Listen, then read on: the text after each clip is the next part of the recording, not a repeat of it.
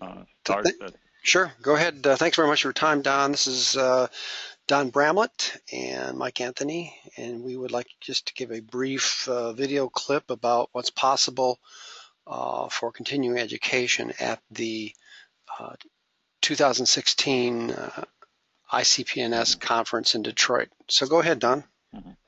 Okay, and that, uh, well, and that um, continuing education units or CEUs and professional development hours, PDHs, are a measure used in continuing education programs, in particular for those that are licensed uh, professions for professionals to maintain their license. Um, engineers obviously are the main uh, uh, people that we're interested in, but you have architects and teachers and nurses and many others that have similar types of continuing education uh, programs. The uh, continuing education unit or CEU is uh, essentially geared for use with uh, formal um, non-credited continuing education programs like uh, workshops, seminars, tutorials, or self-study courses.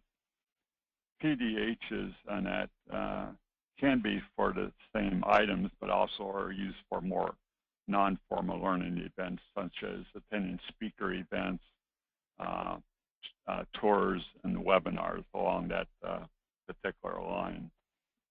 And the reason we started looking at that uh, uh, is uh, in the state of Michigan has joined most other states in requiring a certain number of what they call as continuing education hours, uh, CEHs, but they're essentially equivalent to uh, PDHs, professional development hours.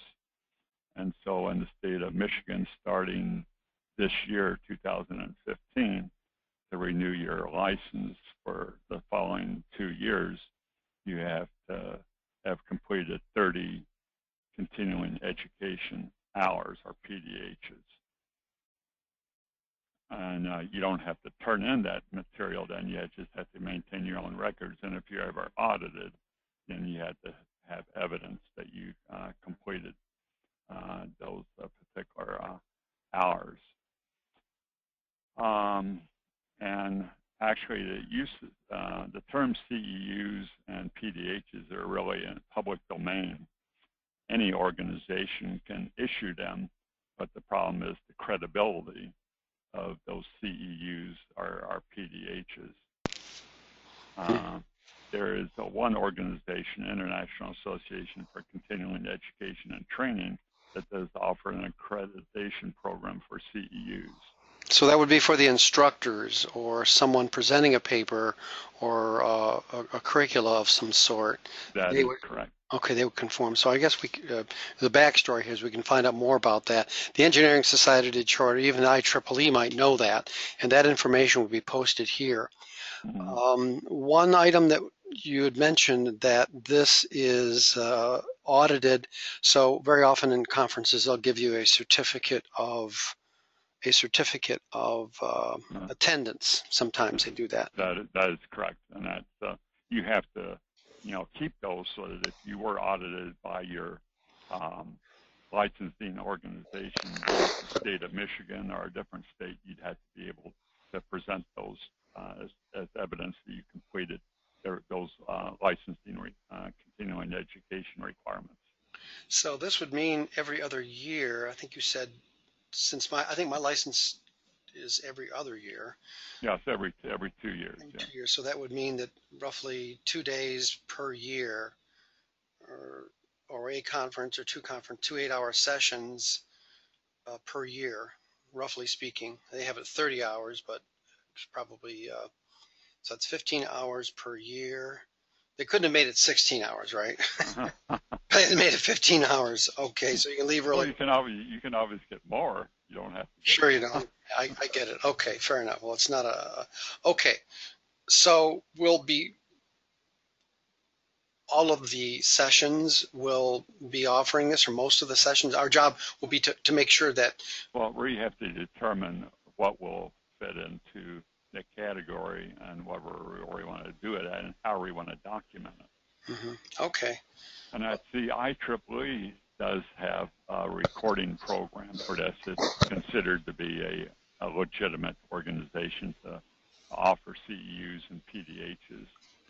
And that and there's a, a formal process that can be done that has to be done ahead of time for CEUs and PDHs if you want IEEE as the, the mother organization hmm to uh, issue these, and, and so you have to provide uh, inf- information uh, to IEEE, especially in the case of CEUs, because they're a much larger program and for more of a formal educational program, like say tutorials that might be associated with the INCPS conference. hmm And So, that, and then it, they, they're like a, a peer-reviewed uh, program programs, so that you have to provide the uh, curriculum information uh, to IEEE for them to look at that, to look at the qualifications, the presenter, and everything else. See what your assessment uh, method will be, and the evaluation method will be, so that if they want to essentially accredit it for CEUs or PDHs. CEUs are a little more rigid with the documentation you have to provide. PDHs are a little bit less rigid, but a similar uh, process. hmm Along that line, that now the, the uh, actually the local section or entity or even our conference could uh, directly do issue PDHs and do it using our own uh, forms. It would not have to be done through the IEEE mother organization. It could be done by our local organization. Well, maybe we should see if there, anybody else is doing that in the southeastern Michigan area. And And uh, well, r- well, we are, Ned, and as was noted by David Mineham, our uh, section treasurer at our meeting last Friday, he's working on coming up with a standard form to be used in our section.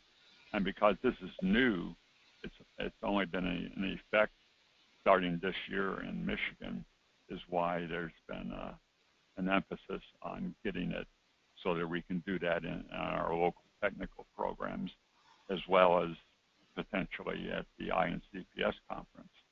So like paper sessions, and that would probably qualify for uh, getting the PDHs mhm, and, that, and a tutorial on that we would, uh, if we wanted to get CEUs, and that uh, we would actually have to do that through IEEE and get the tutorial information to them for a peer review ahead of probably about three months prior to the uh, conference.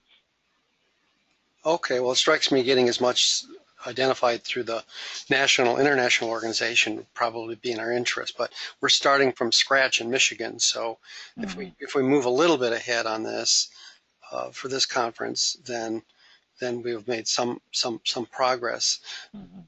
Are any other conferences being held in Detroit right now, or the Detroit area? Are they offering CEUs or PDHs that you know of?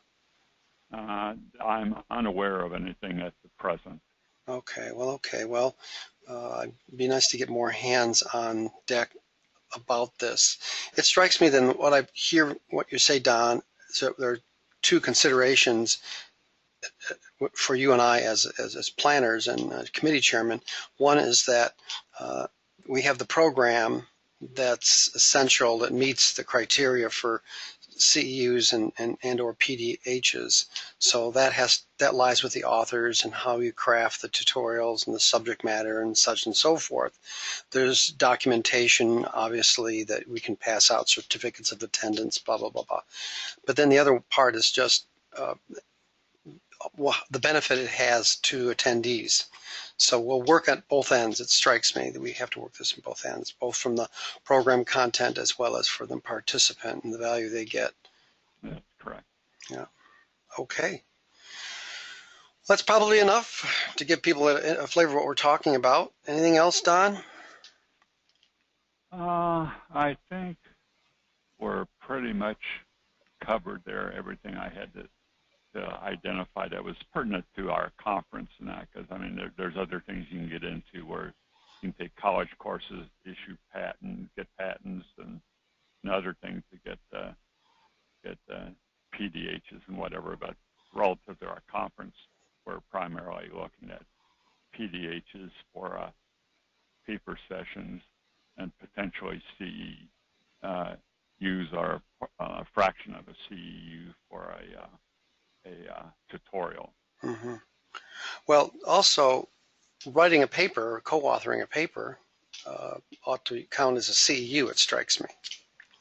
And uh, well, I think actually uh, one published paper, article, or book is worth uh, six PDHs. No kidding.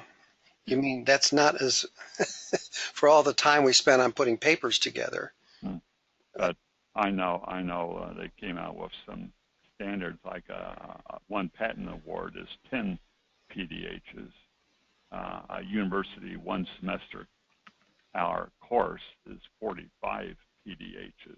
And there's a there's a divider there that turns them into a CEU, right? And that, uh, well, yeah, essentially a CEU is equal to 10 PDHs, but on that and, and equivalent size. And but from a professional standpoint, with the uh, uh, licensing board in Michigan, they, they only look at at what they call C, CEHs, which is really a PDH. So that uh, uh, and that I mean, uh, uh, you'd have to have a formal course for a CEU, but for a PDH can be less formal. So you need to be wor- worrying more about PDHs. Okay. All right. Well, okay. Then what I'll do is I'll, um, close this link and I'll put it on the uh, this this page here, and then I think we'll likely need to assign somebody to to, to work on this. But for the moment, I'm going to